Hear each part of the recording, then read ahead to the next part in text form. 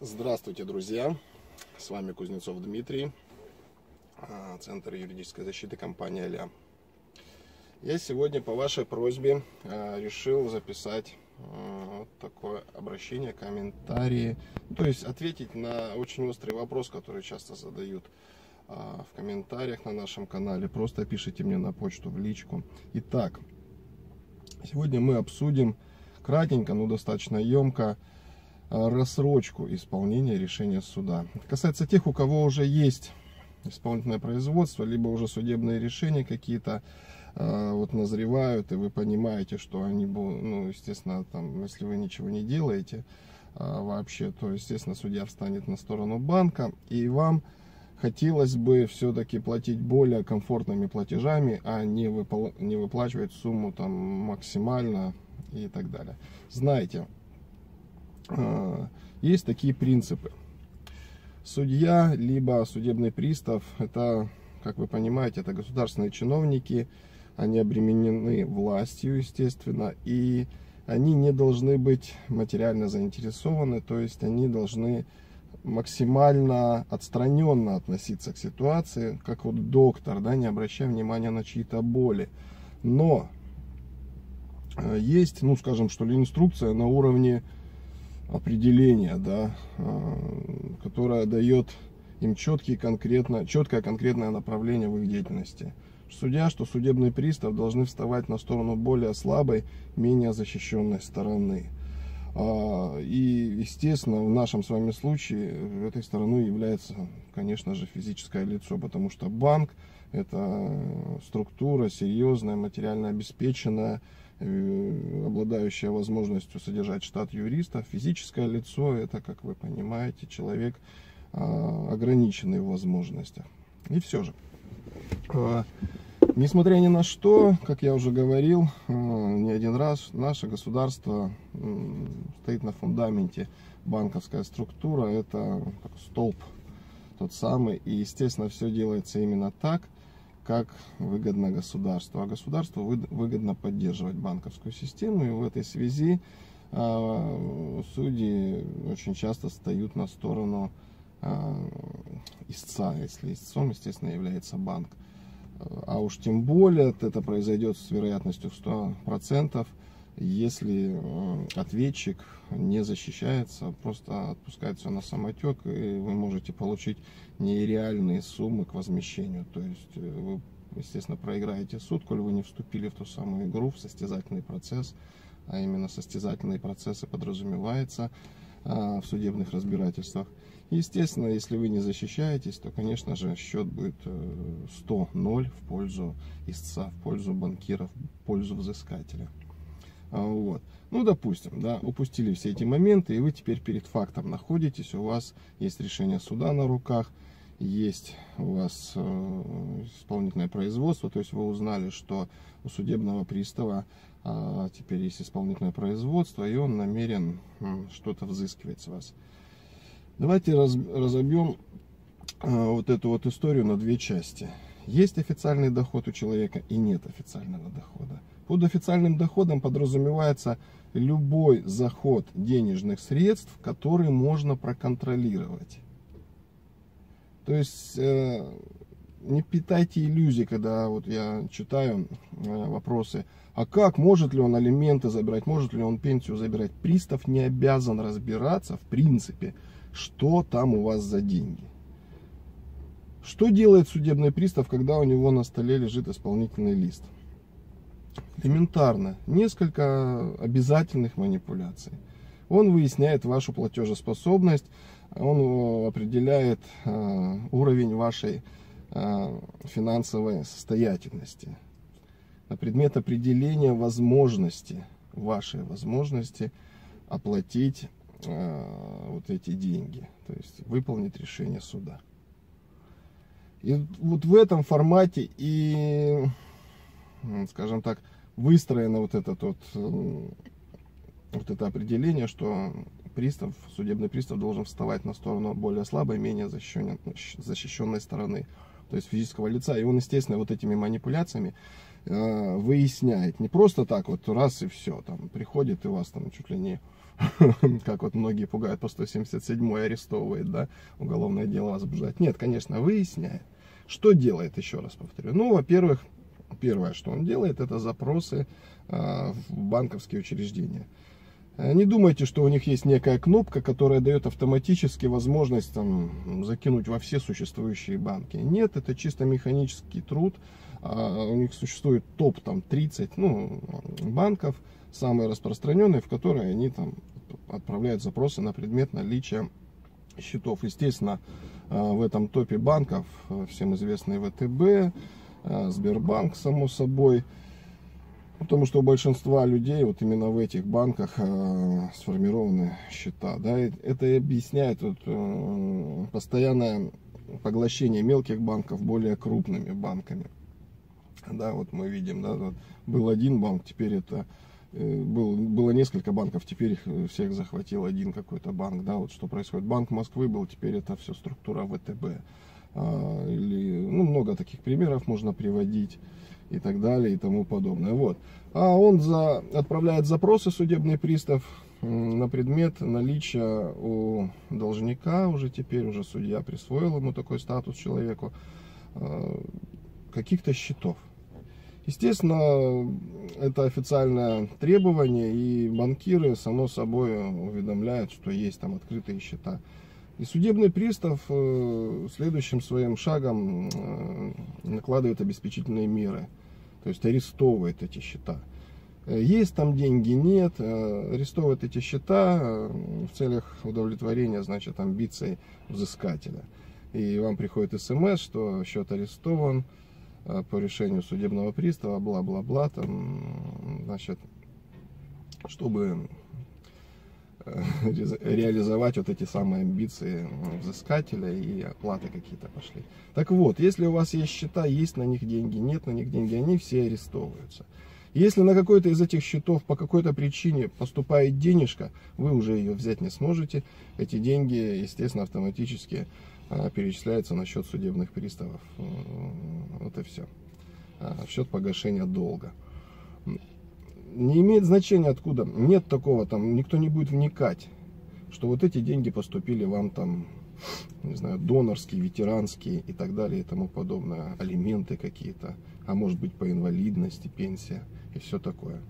А, поэтому я сразу предупреждаю тех людей, кто спрашивает, а как они вот это, почему? Да они не разбираются, они не видят, они обеспечительные меры наложили, арест счета э, обозначили, все. Чтобы туда не заходило, они автоматически будут арестовываться, эти деньги. А, вот. А вторая ситуация. Он, судебный пристав, выясняет, тот самый находит, пытается найти, точнее, официальный источник дохода. Как это делается? Очень просто. А, запрос в пенсионный фонд на предмет отчисления пенсионных взносов а, на ваше имя. Раз есть такие отчисления, значит есть официальная зарплата. А пенсионный фонд сообщает, естественно, что это официальный запрос, он открывает вот эти вот все э, засовы, э, которые простому человеку не, ну, не узнать. А, скажем так, когда коллекторы вас пугают, а мы все узнаем через пенсионный фонд, ничего они не узнают и даже не знают, как это делать. Это отдельная история про коллекторов, много про них сказано. Но давайте возвращаемся к судебным приставам. Судебный пристав получает информацию, какая организация платит пенсионный фонд взносы. Естественно, отправляет в бухгалтерию этой организации бумагу, в которой указывает, что 50% зарплаты нужно отчекрыжить у человека. И все. И бухгалтерия, естественно, обязана выполнить это, это поручение, постановление. Это, в принципе, официальная бумага. Они никогда ничего другого не должны будут делать. Они, естественно, будут выполнять вот это вот постановление. И вы будете получать 50%. А 50% будет уходить в счет погашения. Это вот так происходит с официальным доходом. Третье, что пристав делает, он э, в регистрирующие органы подает запросы на предмет наличия у вас предметов роскоши, к которым относятся автомобили, яхты, пароходы, самолеты, а вторая недвижимость и так далее и тому подобное. Земля, участки земли, острова какие там, может быть, у вас есть там все остальное. Короче говоря, оттуда получает информацию, и если у вас что-то есть э, из предметов роскоши, автомобиль на вас оформлен, естественно, а, в ГИБДД отправляется документ и ограничения, да, накладываются обеспечительные меры те самые. Теперь не сможете ничего сделать. Регистрационные меры с автомобилем уже нельзя будет сделать. С квартирой, с дачей, с землей с пароходом, с самолетом, если он у вас есть. А вот таким вот образом. Здесь отдельная история, поэтому я всегда рекомендую, друзья, если э, такая ситуация у вас возникает, если вам тяжело платить по кредиту и у вас есть в наличии предметы роскоши, пока дело не дошло а, до исполнительного производства, перепишите вот эти вот все вещи на людей, кому доверяете. Об этом будет отдельный ролик, я сниму его, подробно расскажу, как обезопасить свое имущество. Следите за нашим каналом. Вот. А, таким вот образом. Ну и потом уже на предмет а, выяснения как, таковой, стат, как такового статуса социального уже могут быть предприняты меры выезд а, на адрес должника а, для оценки социального статуса, да, то есть, ну, это бывает крайне редко. Это тоже отдельная история. Я вам расскажу, почему вы можете, имеете право даже пристава э, с наличием документов, что он судебный пристав не пускать к себе на порог. И даже если пусти, пустите себе на порог, если вы э, знаете, как правильно поступить, э, то вам ничего не грозит. Даже если у вас есть там канделябры из золота висят, они могут остаться у вас висеть. Но нужно быть готовым, как говорится, во все оружие.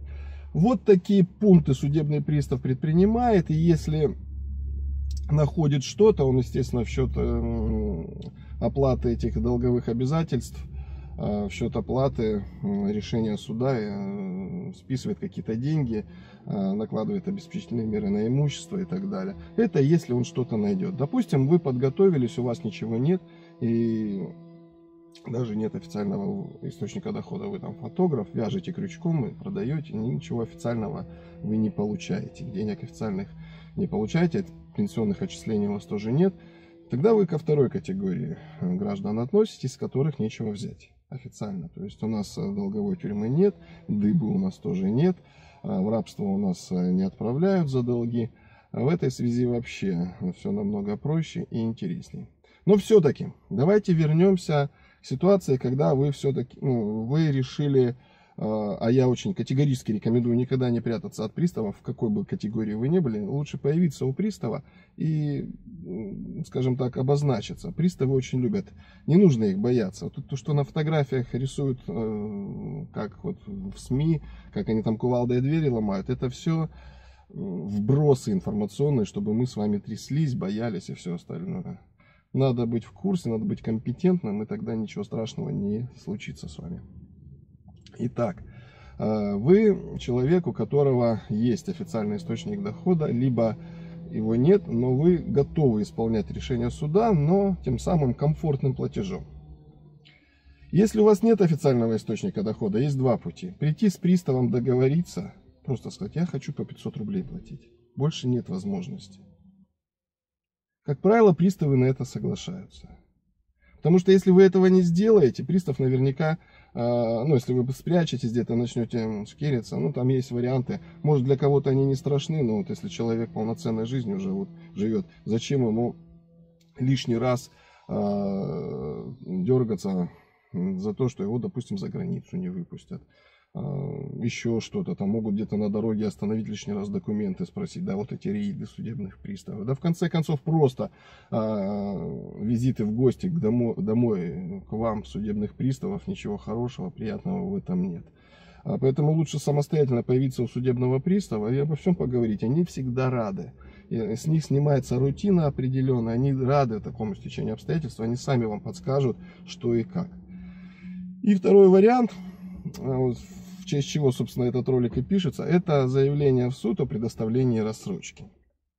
А, как правило, наши клиенты получают эту рассрочку при наличии официального источника дохода. Да, а, мы, у, меня, у нас есть рекорд, мы до 7% снизили. Как правило, можно заявление о рассрочке писать в процентном соотношении снизить, потому что по умолчанию судебный пристав 50, а то и 70% взыскивает, ну 70 это вот с алименщиков, когда долги по алиментам, по алиментам у человека, тогда до 70% могут взыскивать. А, вообще по кредитным долгам 50% взыскивает по умолчанию с официального источника дохода. Эту сумму можно до 25%, до 15%, до 10%, до какой-то фиксированной суммы снизить. А, нужно просто предоставить в суд, помимо заявления о предоставлении рассрочки, еще какие-то аргументы, ну, факты о том, что вам действительно тяжело живется, если вы начнете исполнять решение суда а, вот таким способом, да, то вам не на что будет жить. И предоставить э, список документов, да, и дополнить его ксерокопиями. Я прошу тех, у кого зарплата, вот у нас был клиент, он работал а, на приисках, у него зарплата 250 тысяч была. У него было кредитов порядка 8 миллионов, и он все эти деньги, в принципе, в погашение кредита отдавал. И, естественно, зарылся по уши в долги, обратился к нам. Но при такой зарплате судья никогда не даст рассрочку. Судья не даст рассрочку, если у вас и 100 тысяч зарплата. Ну, за исключением, если у вас есть ипотечный платеж. Если вы платите ипотеку, там 60-70 тысяч, ну, практически сумму такую, какая у вас зарплата, то тогда а, вполне вероятно вы получите рассрочку, то есть э, снижение вот этих вот суммы, да. Но в любых других случаях э, навряд ли, то есть э, это далеко за прожиточный минимум и так далее. Но если вы человек, получающий официально там 10, 12, 15 тысяч, как вот любят работодатели, а, ну, сплатить там минимальное, да, остальное в конверте людям платят, тогда совершенно спокойно можно претендовать на предоставление рассрочки. То есть, если у вас там 1010-15 зарплата официальная, да, на карту зачисляется, так ее будут забирать 7,5 тысяч. Это, кстати говоря, все равно в любом случае, даже если вот так, выгоднее а, чем вы бы платили в банк, неизвестно сколько и как, потому что вы тут через реестр судебных приставов платите, а с реестров зачисляется четко на погашение тела кредита, и вот только сумма, которая зафиксирована судом, и будет оплачена. И в этом случае вы исполните решение суда, естественно, не будете должны. А если вот так немножко назад вернуться, если вы будете в банк платить при платеже даже в 20 тысяч, вы будете по 7,5 тысяч платить, ну, мы сейчас берем простые цифры, да, вот о которых, на которых остановились, вы будете всю жизнь платить. У вас будут штрафы накручиваться, как снежный ком, на недоплаченные суммы, и вы обалдеете. Поэтому я всегда призываю а, решить все через суд официально. А, выйти в суд, спровоцировать банк на судебное разбирательство и потом уже по решению суда выплачивать. Так будет намного правильнее и выгоднее, не надо этого бояться. Итак, у вас есть официальный доход какой-то минимальный, и вам нужно получить э, решение суда о предоставлении рассрочки. В этом случае нужно подготовить документы, которые действительно в официальном формате доказывают, что у вас трудное материальное положение. Если вы действительно а, начнете исполнять решение суда вот э, так, по 50%, то вы, извините за выражение, зубы на полку сложите. А, вот. Какие документы могут подходить в этом случае? Очень хорошо ипотечные ну, выплаты по ипотеке. То есть вы э, жилье свое оплачиваете, документы предоставляете, договоры, график платежей, что у вас есть действующая ипотека. Это очень круто, это действительно влияет. А, рецепты, чеки о а, приобретении лекарств а, без которых вы не можете существовать полноценно. Очень хорошо работают. Если у вас на иждивении детки, тоже свидетельство о рождении, либо взрослые люди, но не способные сами себя содержать, тоже да, предъявляете доказательства, что они вот с вами проживают. И, ну, понятно, да, как это делается. Что еще может быть? Естественно, 2 НДФЛ справку нужно предоставить, что у вас вот такая официальная зарплата. Это тоже обязательно в суд нужно предоставить. И вот такие вот. А, очень хорошо работает также не с такой эффективностью, как ипотечная, но вот что вы платите, если вы снимаете жилье, да. А вы, если не, можете, не будете снимать жилье, то вам сложно будет, да. Работает, добавляет, как говорится, статуса вашему безвыходному положению. И само заявление в необходимой форме нужно составить, отправить. Я даже вот сейчас вам прочитаю, как это заявление может выглядеть. А, ну, заявление шапка составляется правильно, да. В такой-то суд от того-то, того-то, заинтересованные лица перечисляются, банк, судебный пристав, номер дела указывается, по какому ну, должна быть официальный документ правильный, но это вы в суд пишете, это не непонятно, что это действительно официальный документ. Ну и вот я вам пробегусь. Заявление о рассрочке исполнения решения суда.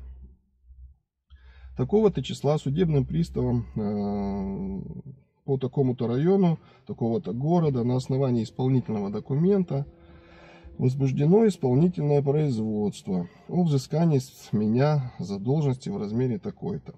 Исполнительный документ выдан на основании решения такого-то суда.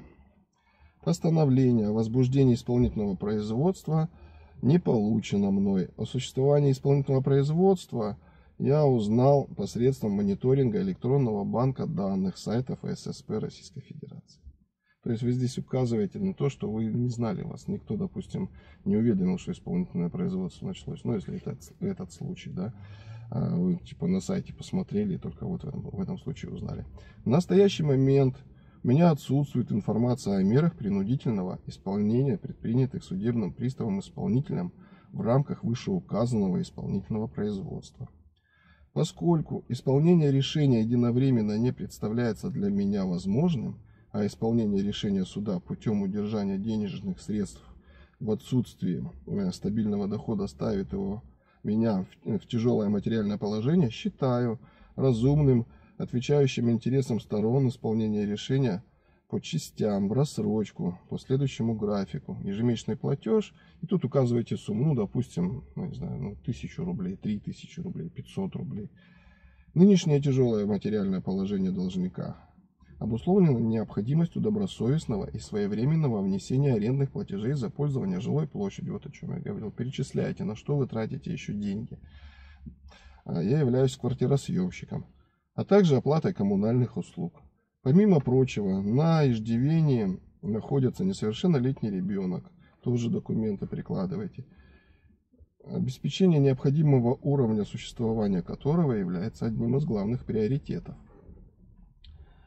В отсутствии информации по исполнительному производству и предпринятым судебным приставом исполнительным действиям, а также во избежание ситуации, при которой судебный пристав-исполнитель может обратить взыскание на счета должника, что поставит его в более тяжелое материальное положение, вынуждены обратиться в суд с настоящим треб... заявлением.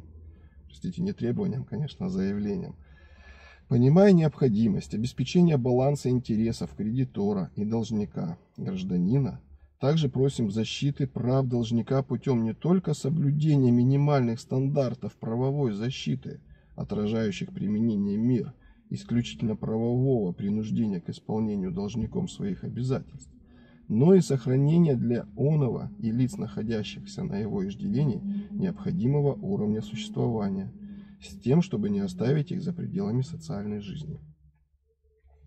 На основании изложенного, руководствуясь статьей 203 Гражданского процессуального кодекса Российской Федерации, прошу предоставить рассрочку исполнения решения суда по гражданскому делу такому-то, по иску от того-то, а, к такому-то, такому-то, о взыскании задолженности в следующем порядке в виде ежемесячного платежа в размере там 3 500 рублей, не 3 тысячи рублей, 500 рублей, 1000 рублей, там уже по обстановке у себя смотрите. Приостановить исполнительное производство, отложить исполнительные действия по исполнительному производству до рассмотрения настоящего заявления судом. Ну и там дальше подписи, все остальное. И это либо в суд относите, либо заказным письмом с уведомлением о вручении отправляете. Вот такие вот дела, друзья мои. В принципе, можно все это делать совершенно спокойно, а если делать это правильно, и перед этим будет у вас определенная какая-то соблюдена определенный регламент, который... Вот мы для своих клиентов именно уже на этапе ФССП такие э, вещи делаем. И еще раз говорю, у нас есть рекорды, мы до 5, до 7, простите, процентов снижали а, выплату. То есть действительно было очень удобно человеку. И, конечно же, коллекторы продолжают звонить, продолжают мучить наших э, уважаемых клиентов. Но мы, наши клиенты уже понимают, что коллекторы это просто тявканье там за окном, на которое не нужно обращать внимание. Вот.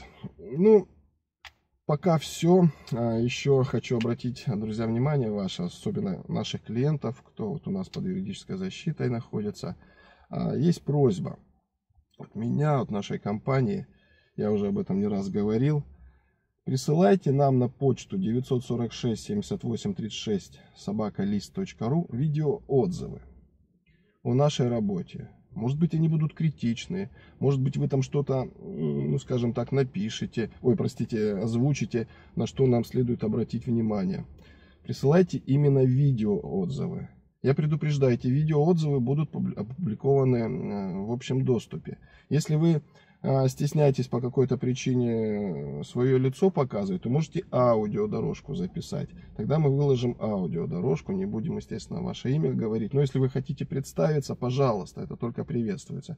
Мы сейчас формируем а, целый плейлист для отзывов, чтобы недоброжелатели наши могли а, видеть, что у нас все хорошо, что мы людям действительно помогаем, что польза от нашей деятельности есть э, очень ощутимая и действительно мы полезное дело делаем. Ну и сами вы понимаете, чем больше людей э, будет обращаться к нам, чем больше людей будут подписываться на наш канал, тем, само собой, э, больше пользы мы принесем ну, максимальному количеству людей вместе с вами. Вот вы можете таким вот образом помочь. Ну что, с вами был Кузнецов Дмитрий, Центр юридической защиты компании Алиам. Ролик понравился, конечно, лайки ставьте, подписывайтесь, если вы еще не подписались на наш канал. Э, ссылка на наш сайт в описании этого ролика и всех других. Э, выложена, значит, презентация, там как устроена общая работа нашей компании. Вы можете все это понять, узнать, взвесить все за и против. У нас, в принципе, против особо и нет принять взвешенное то самое решение и обратиться к нам за юридической защитой. И мы э, сделаем то, что вам необходимо в вашей жизни, о чем вы, может быть, даже в последнее время и мечтать забыли. А, поделитесь этим роликом в соцсетях. Еще раз повторю, чем больше людей будет знать о нашей деятельности и вообще о нашем канале, а тем, соответственно, будет больше людей спокойных, радостных и счастливых, потому что все не так страшно, как нам преподносят банкиры.